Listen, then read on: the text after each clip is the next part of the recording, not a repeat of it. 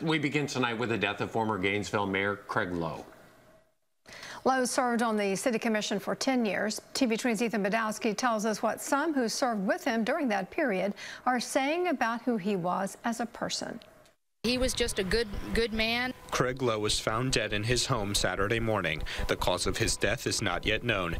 He was the first District 4 commissioner in 2003 before stepping up and becoming mayor in 2010. A caring, thoughtful individual. His uh, his typical greeting was, "How's it going?" You know, that was he never said hello, he never said hi. He said, "How's it going?" So uh, just you know, just a warm person who was easy to be around. Uh, an introvert. You know, he was he was a an interesting fit when he first told me he wanted to run for public office. I was like, huh, you know, but he was a brilliant, brilliant policy mind. And so, you know, he didn't come to politics because he wanted to be well known or famous or get invited to parties or anything like that.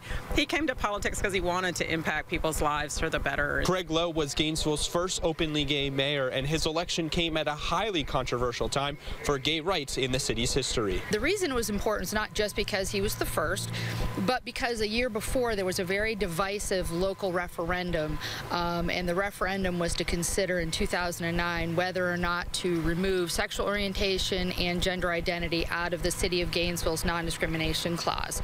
And so that actually coincided with my reelection, and um, I'm very pleased to report that really through Craig's leadership, the referendum was defeated and we were able to retain both of those rights. Lowe helped expand the city's use of public transportation in his time serving Gainesville. Hanrahan told me the transit system carried a million and a half riders when she started and grew to 10 to 12 million by the time Craig finished serving.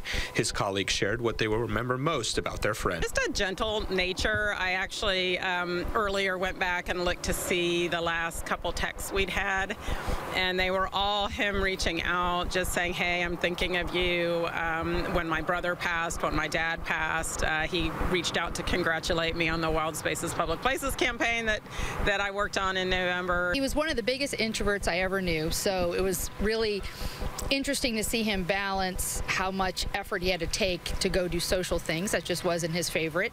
Um, and overall, I think he just really stuck to his values. He believed in equal rights. He believed in all kinds of environmental issues, tr transportation issues, and, and he really worked to find a compromise and a solution a lot, but he never wavered from his values. Other accomplishments of Lowe's include the founding of Innovation Square and the approval of Sweetwater Wetlands Park. Craig Lowe died at the age of 65 years old. In Gainesville, Ethan Badowski, TV 20 News.